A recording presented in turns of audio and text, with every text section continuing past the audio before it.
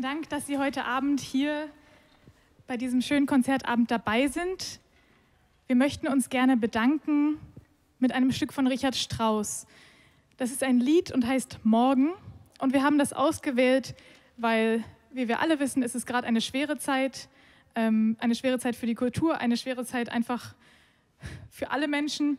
Und das Lied Morgen spricht von der Sehnsucht und der Hoffnung und der Sicherheit auf ein besseres Morgen. Und in diesem Sinne möchten wir das heute für Sie spielen.